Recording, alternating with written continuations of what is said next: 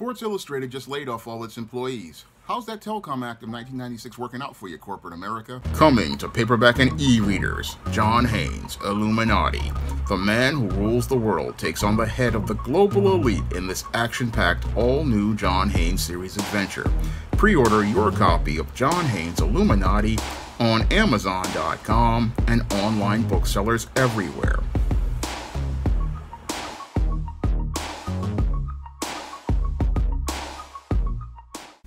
Better get the coleslaw, y'all, because we're having us a barbecue. On Friday, the owners of Sports Illustrated laid off almost all of its 100 workers.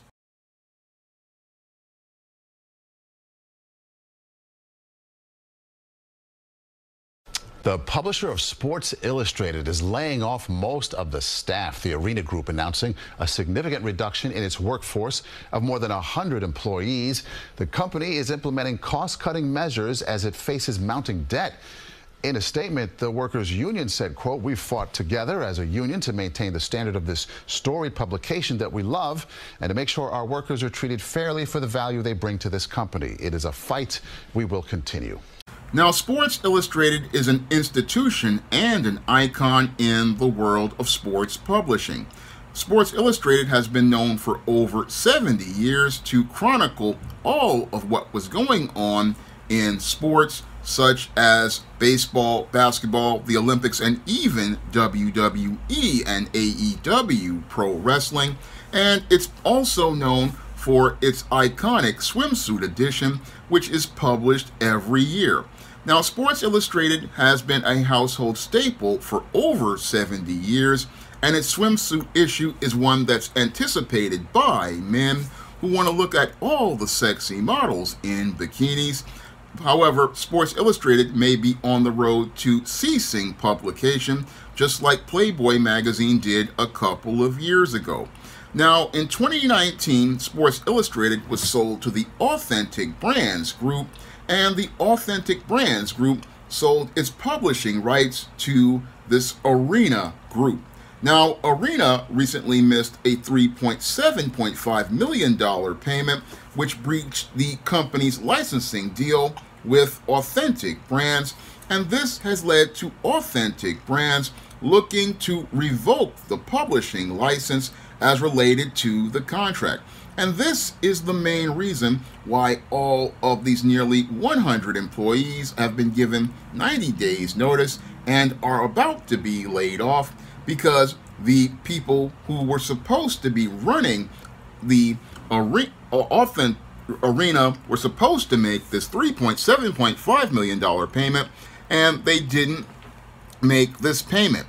Now, the entire Sports Illustrated magazine has been having serious issues as related to its overall publication, and that really shows me that the editorial is in complete chaos. Now, its previous CEO, Ross Levinsohn, decided not to hire regular writers. No, what he wanted to do was go out and start using AI generated stories by fake authors, and that was a compromise of ethics as related to journalism because AI is not supposed to be used as related to reporting news, which is sports news. It's just unethical overall, but this was possibly a cost cutting measure made by that CEO, and this is what led to them having issues with the Arena Group uh, as related to things, as related to the license. Now they put in a new CEO to take care of the business, but that CEO resigned and now they are on their third CEO. And that's a really bad situation for a publisher to be in because it shows that that publisher really doesn't have a vision and it really doesn't have a direction for its publications. Because if you have staff writers and staff editors, why are you getting AI content? That's a critical question I have to ask as related to Sports Illustrated. I mean, in the world of sports, you would want to have staff writers go in to report on sports stories, not go out here and get some opinions from AI because sports is happening live and you need a reporter there to report on the story that's happening live you can't AI cannot report on a sports story because AI cannot go out here and see real life experience the same way a reporter would see real life experience. So there's a real serious problem at Sports Illustrated as related to its editorial, and the editorial is more focused on counting beans instead of counting the layups that star players make in college, in high school, or the NBA or checking out the number of touchdowns and sacks on the football field. And that's a real problem with Sports Illustrated right now. It's a real problem because it really, one, shows that the whole magazine is more focused on dollars and cents and not the action on the court because it's the action on the courts that is the thing that makes Sports Illustrated money because Sports Illustrated is about showing pictures of sports and reporting stories on sports. Now, the real problem here I see with Sports Illustrated, again, has to do with the editorial not having a vision and a direction, and that's all due to the whole corporatization of media that was established by the Telecom Act of 1996. Now, all of this relates to the Telecom Act of 1996 because the Telecom Act basically deregulated media and made it where more an individual can own more than one newspaper, one magazine, one TV show, and one radio station in an area.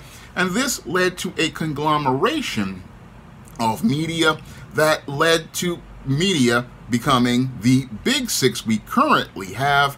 And this big six basically only sees things through a commodified mindset.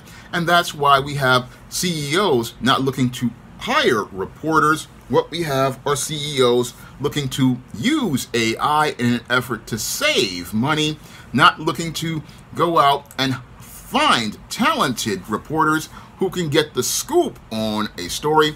And this is one of the reasons why Sports Illustrated sales went into a major decline this and a push for social justice because Sports Illustrated over the last couple of years has been walking away from its core audience of men who were the ones buying Sports Illustrated on the regular to hoping to pander to those on the far left, such as social justice warriors. And as they've done this, they put an obese woman on one of their Sports Illustrated swimsuit issues and put alphabet individuals on the cover of their swimsuit issues, ones that were notorious for selling very well to large groups of men. Unfortunately, because they decided to go for these individuals who were or what they thought were an audience to get so-called representation, they wound up alienating many of Sports Illustrated's longtime subscribers, and as they alienated a large base of Sports Illustrated's longtime subscribers, they basically proved the point get woke, go broke. And this is what's happening to Sports Illustrated. Sports Illustrated is now in a place where they went out here pushing agendas over quality content. And as they pushed agendas over quality content, what happened to Sports Illustrated is it lost its focus, it lost its vision, it lost its direction, and as Sports Illustrated has lost its vision and direction, what has happened to Sports Illustrated is it's become a pale shadow of its former self, and this household icon is now on the brink of going out. And it's sad because over 70 years, Sports Illustrated has been a household staple. I mean, I grew up with Sports Illustrated, and I remember wanting to buy the 1997 swimsuit issue with Tyra Banks on the cover.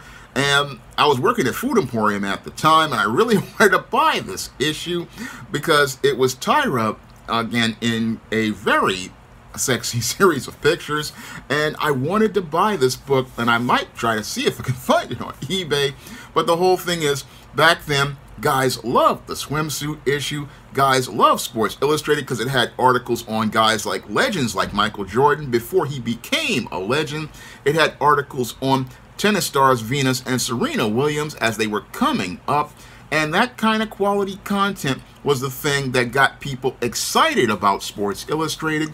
But there's no reason to get excited about Sports Illustrated anymore because Sports Illustrated these days is like other publications that are out here these days, more focused on pushing agendas and identity politics instead of reporting on sports like one of my viewers does. I mean, he goes out here and reports on sports in Michigan, and that's what people want to see.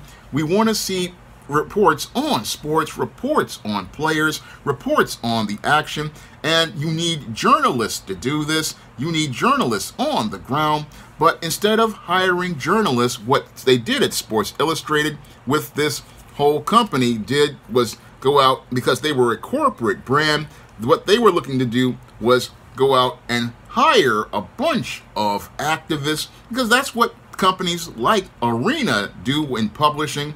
They're hiring a bunch of social justice activists who are more focused on representation rather than representing the action on the ground because your job as a reporter is to report what's going on because people are more interested in seeing the San Francisco 49ers and their quest for a Super Bowl or a team back in the day, like when my cousin and I used to watch the NBA, the Chicago Bulls on a quest for sixth. I mean, my cousin, he was a guy, he was really into the Chicago Bulls to the point where he was writing, and if he was around in the 2000s, he possibly would have been blogging about the, about basketball. I mean, that's how passionate he was back then. So basket is like people want that kind of passion. They want to hear about that type of reporting, that type of journalism. But instead of giving us that journalism as substance, all they wanted to do was give us the flash of all of these empty symbolic representation saying, oh, we're going in this different direction as related to the swimsuit issue, which basically symbolized the whole phrase get woke, go broke, because that swimsuit issue usually was the one that made Sports Illustrated most of its money. That was their best seller. And instead of looking to represent what the American man wanted to see on that swimsuit issue, they wanted to represent identity politics and represent an agenda of people who don't even buy Sports Illustrated. And that's why Sports Illustrated went from being a magazine that was a staple of life for Americans in 70 years to being on the way out of business and this is all part of a trend in media, which basically shows me that the country is in a really bad place because we have had a series of layoffs in media ever since the pandemic ended. And we've had layoffs over at Disney. We've had layoffs over at Pixar. We've had layoffs over at Google. We've had layoffs over at places like BuzzFeed. We've had layoffs over at all of these different media platforms, and it's all due to the continuing push of identity politics, leading to companies taking major losses. And they're taking major losses because they've alienated their core customer base to appeal to a base of social justice people who go out and get their publications for free on the internet on pirate websites.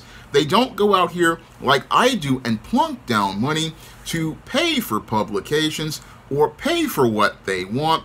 No, these people just wait for something to come off the pirate website or they're waiting behind the store and at the end of the month for the unsold copies with the cover ripped off. They're scavengers who talk about activism and representation. But the whole thing with most of these activists is that they're hustlers and they're hustlers on a grift and that grift is making America go into a economic recession because with all of these layoffs the only thing we're having is a country on the brink of recession because you don't have layoffs in an economy that's doing well and America's economy, a consumer based economy, is doing poorly, all because of this Telecom Act of 1996, which is proving to be one of the worst pieces of legislation because if we had repealed the Telecom Act, we could get back to competition because the reason why these activists got hired in the first place is because these companies got real comfortable, these corporatized companies got real comfortable as they consolidated media. They saw these publications as assets that they could commodify, did not see them as competitive businesses, and because these businesses aren't competitive, they aren't focused on their core mission. No, what they're focused on is going out and making a lot of money as related to appealing to demographics, but not really focused on their overall mission. And that mission was sports, and sports was the thing that generated sales. So, what's happening here again is a direct result of the Telecom Act of 1996. And the Telecom Act of 1996 has consolidated media to the point where media is no longer competitive. And because it's no longer competitive, many of these businesses that were storied institutions like Sports Illustrated, Playboy, and even companies like Disney are starting to implode, and they're all imploding because of this deregulation, which eliminated competition. And as it eliminated competition, this is where we see storied institutions of American media, like Sports Illustrated, becoming yet another footnote in history. Now, if you want to pick up some of my publications on the SJS Direct imprint, you can find the books of the SJS Direct imprint, like the ISIS series, the Esteem series, the John Haynes series, the books of the Spinsterella trilogy, my black sorority novel, The Thetas, my black business novel, Recipe for Success, my black vampire novel, Eternal Night, or my men's issues books like The Man Crisis, Stop Simping, and Why 70% of Black Women Are Single and The Woman Crisis. You can find all of those books on Amazon.com in paperback and Kindle format. You can also find them at other online booksellers like Smashwords, the iBookstore, Google Play, and Barnes & Noble. And if you'd like to see me make more videos about the entertainment industry, you can send a donation to the Patreon, the PayPal, or the Cash App by clicking the links in the description box. That's all I have to say for this video. You can comment, rate, and subscribe. Now available in paperback and Kindle Unlimited. ISIS, All That Glitters. The Goddess Next Door takes on a bikini-clad bank robber in this action-packed all-new ISIS series adventure. Get ISIS, All That Glitters in paperback and Kindle Unlimited today. Now available, paperback and Kindle Unlimited. ISIS, the main event. It's carnage inside of a steel cage when the goddess next door steps in the squared circle with a beast from the boss in this action-packed all-new ISIS series adventure. Get ISIS, the main event, paperback and Kindle Unlimited today. Support black owned and black operated digital broadcast media. www.niceradionetwork.com. Nice Radio Network broadcasting 24 hours a day, 7 days a week.